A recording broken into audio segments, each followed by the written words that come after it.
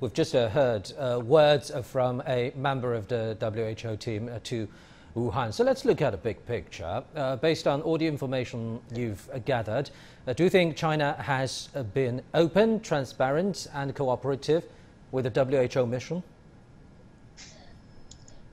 The WHO team's a month in Wuhan, basically they actually are highly purpose focused, uh, trying to find out how this actually uh, the pandemic happened and where the orange, uh, origin of the virus might be. So uh, the WHO team, uh, which is the multinational team with uh, expertise in public health, epidemiology, and also virology and other areas as well. I mean, this is a highly professional team trying to focus and find out what actually is is happening. Uh, the team actually had uh, basically unrestricted access to the data, to the um, to to various uh, hospitals and clinics, and also to a number of uh, markets which actually uh, were related to the to the original outbreak of the pandemic. So um, the team collected enormous data looking at the the logistic relationship on the on the on the pandemic. So they actually um, had a quite a comprehensive investigation of the the the uh, the entire events. So you can see that um, as uh, Peter Daszak just uh, talked in the um, uh, to the to the media that you know they all get their unrestricted access and basically when they produce the the, the requirement on the list and every requirement is met by the uh, local authority. Uh, I think overall the Chinese government has been open and transparent in this issue and the, basically they provide a highly supportive um, uh, uh, you know, attitude in terms of this uh, fact-finding mission. So uh, I think the, the conclusion is uh, is highly professional, scientific, uh, and basically I have no questions that they have uh, obtained all what they need to get their conclusion. So you are a public health expert, and what do you make of some Western media's twisting of those WHO team members' words. And it seems, I'm not saying that there is a real link, but it seems that uh, these kind of twisting are in synchronization with comments from some Western politics. For example, US National Security Advisor Jake Sullivan's so called statement on the uh, trip to Wuhan from the WHO. What's the real purpose here?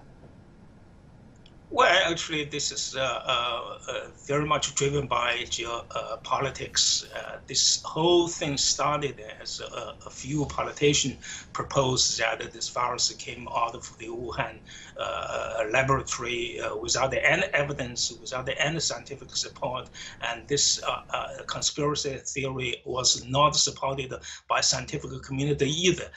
the, the other problem is that the Western, some of the Western news media basically uh, promoted the whole thing and uh, it out into uh, some kind of you know um, uh, global issue. I think this is the absolute waste of the uh, the public resources in terms of dealing with this kind of conspiracy theories. But unfortunately, you know, when the WHO team found um, conducted such an investigation and reached their conclusions, still some of the Western media remain to be uh, committed to their such a self-serving uh, uh, ideas that uh, they, they don't believe the conclusion. I read the New York Times report. That this is such a piece of um, you know, a self-serving article uh, twisting the, the fact and then basically uh, fragmented all the information provided by the uh, uh by the WHO team and then constructed their own uh, theories that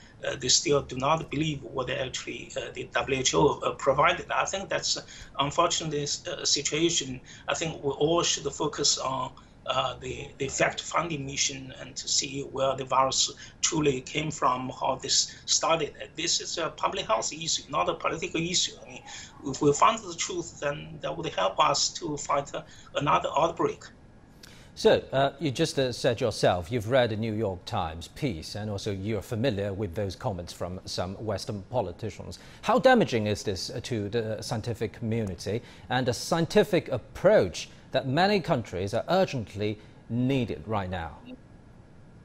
Well, uh, this de- uh, definitely is is highly damaging because uh, for scientific research, we all know that we need a collaboration, we need to uh, uh, information exchange, and need trust as well, uh, particularly in the area of public health and epidemiology. We know that the virus has no borders. Borders. I mean, once they outbreak, then they will quickly cross into other countries. That's why we need to build up the trust and, and interact and cooperate in issues like that.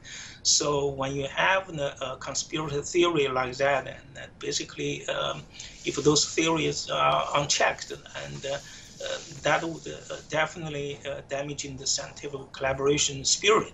So I think in the long run, it would have a far-reaching impact in this area. Thank you very much, Professor Wu Zhiwei in Nanjing.